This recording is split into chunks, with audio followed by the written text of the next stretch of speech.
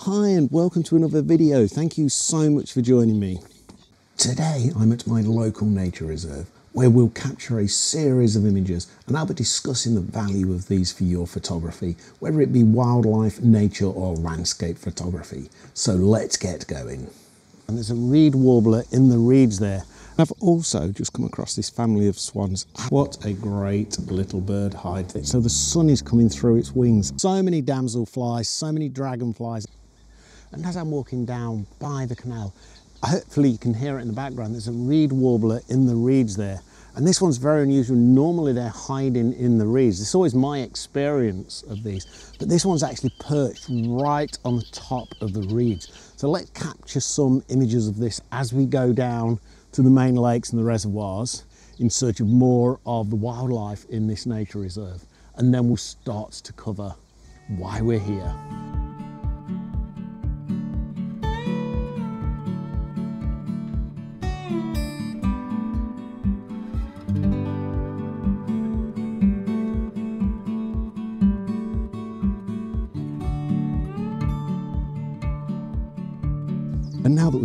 That image of the reed warbler, let's head on down. The location I'm in today is a nature reserve just by the canal. The Canal Trust here in the UK built this nature reserve when they refurbished the canal and the locks here.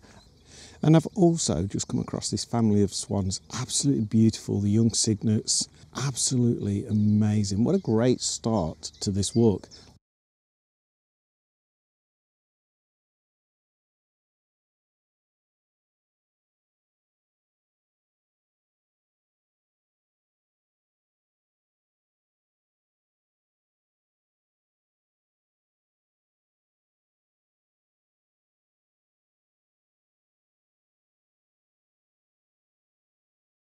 What a very pleasant surprise those swans were. The reed warblers and the swans on the way down in search of the damselflies.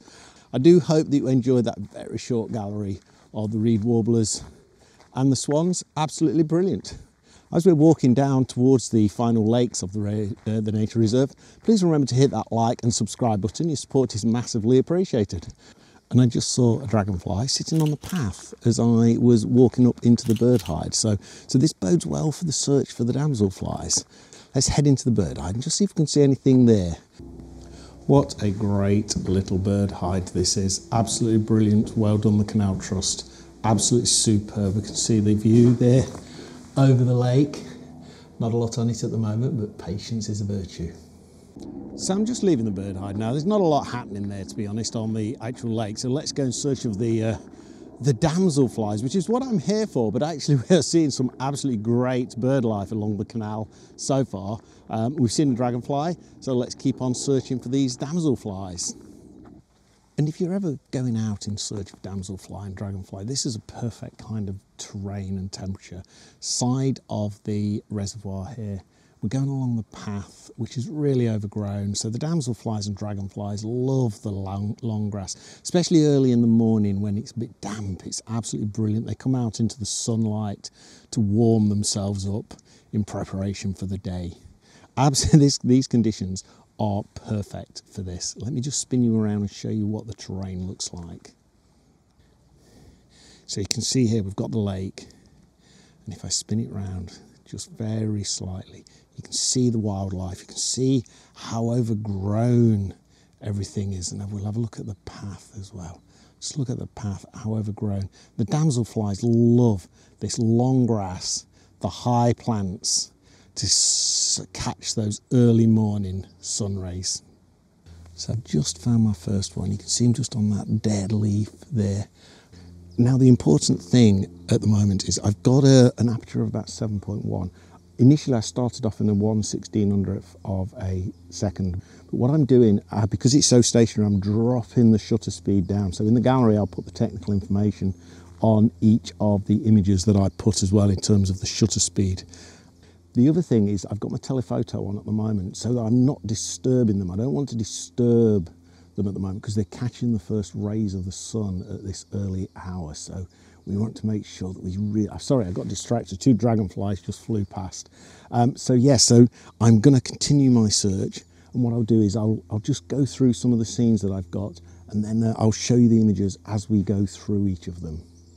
And I've just captured this one. I really love this image. I love the way that the, the damselfly is on the entirety of the leaf, slight shadow across the leaf. But one, this demonstrates the importance of being at 90 degrees if possible to the damselfly fly to get it all in focus. Because we're dealing in such small subjects and such, such small depths of field, if you can, because these are in the direct sun today, I've managed to get that up to f11, f13 to get some of these images. So it gives me that bigger depth of field. But you just need to make sure that if you can, you're at 90 degrees to the damselfly so that you are getting the whole thing in focus. And I've just discovered a dragonfly resting on the grass as well. There's grass blowing in front of it as well, which is a bit surreal.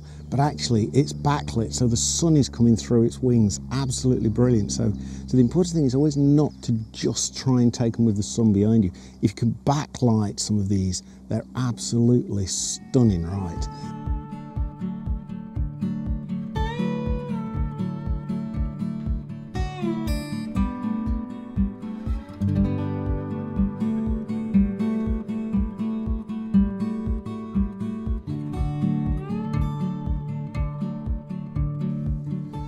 Are so many compositions here of not just the damselfly, but dragonfly, insects, absolutely a, a, plethora of different small creatures which I'm capturing with the telephoto lens. There's so many and I just want to make sure that you guys can hopefully learn from those images and also be a little bit inspired and really shows the value of just going to your local nature reserves. This one is just off a main road. It's probably one and a half, maybe two kilometers away from the main road, a really busy road here. So it really shows the value of coming to these local places. You don't have to go out into the big mountains, to the big coasts, etc. Sometimes you can just be really local.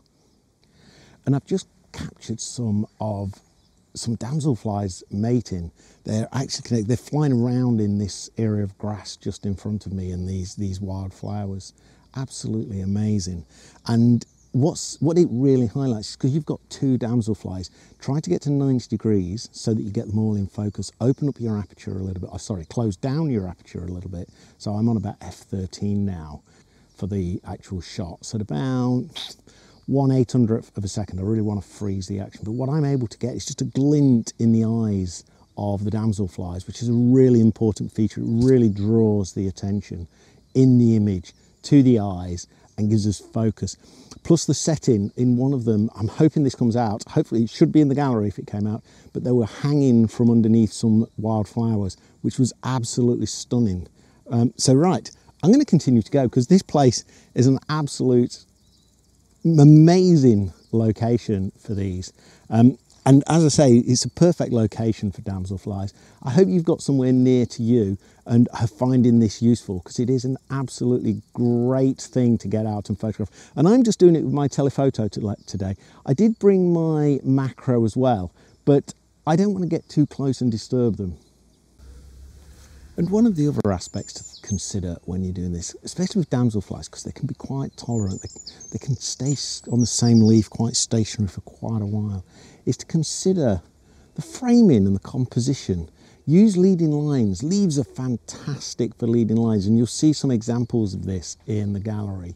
Use the leaves and the natural shapes of the leaves to frame the subject as well, to really compose this. Don't just think of zooming in just on the damselfly or the dragonfly or whatever insect it may be. Um, really think about how you can compose this.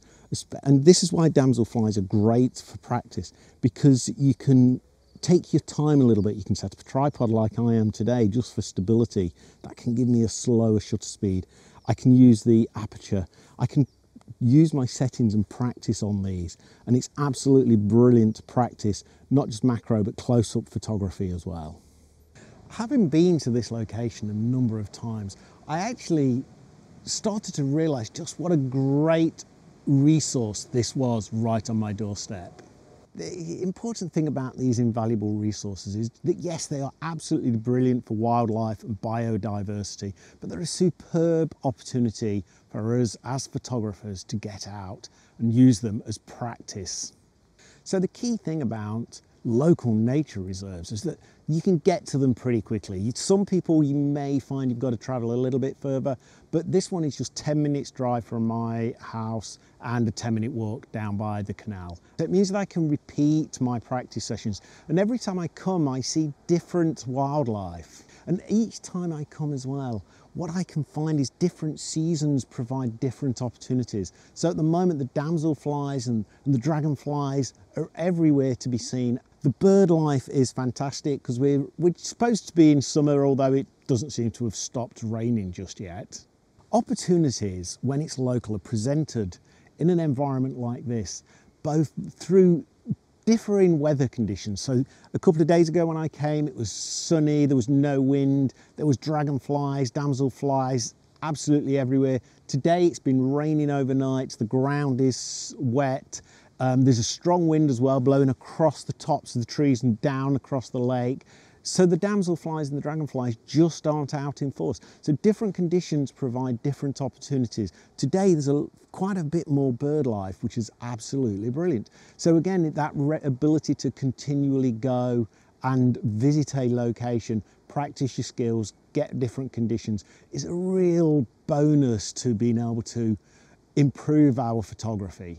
And even within small nature reserves, this one's probably ooh, I don't know, five, 600 meters long by 100 meters wide, meters, yards, pretty close to each other, aren't they? Um, so it's not that massive, but there's about four or five small lakes here running alongside the canal, built by the Canal Trust, and that provides a number of different habitats as well. So we've got the ponds, which are pretty full of fish. That provides the, the, um, the kind of pond birds, the moorhens, coots, that kind of thing. I did see a cormorant fly over earlier. We've got hedgerows all the way down the sides of the lakes and I saw a wren um, earlier, too fast for me, to actually get a photograph of it, disappeared into the trees really quickly. But it's those kinds of opportunities to be patient for and they've built some bird hides so we can come and just be patient and hopefully if you've got a local reserve near you, it's got some bird hides or at least places you can you can sit and relax and, and let the wildlife just be natural within the environment. And in line with that, it's not just about the wildlife, it's also about the flora and fauna.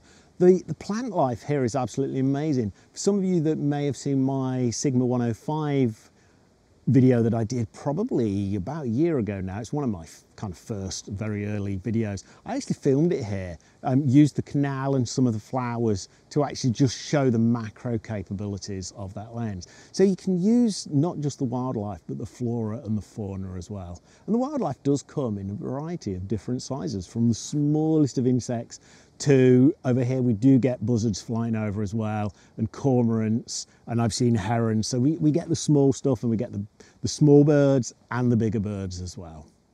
So in summary then I think these are really invaluable locations for you to practice and for myself to practice photography get better at wildlife photography, get better at macro photography, get better at landscape and nature photography absolutely invaluable, well worth supporting, well worth going to.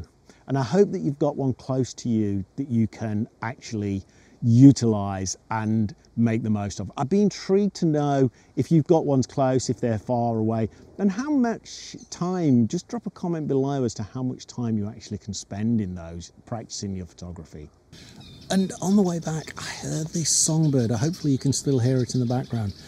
My app tells me it's common chiffchaff. I'm going to check that when I get home and if it is different I shall put it down below but it's absolutely gorgeous.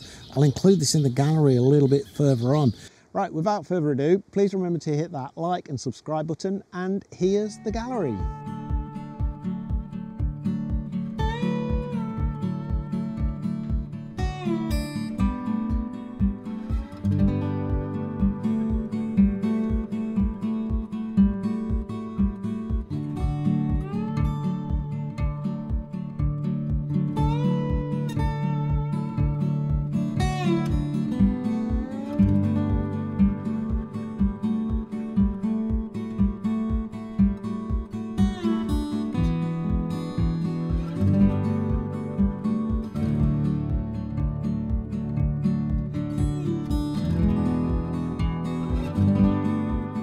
Please remember to like and subscribe to the channel and also check out these videos next. Thank you very much for your time in watching this video and until next time, thank you and see you soon.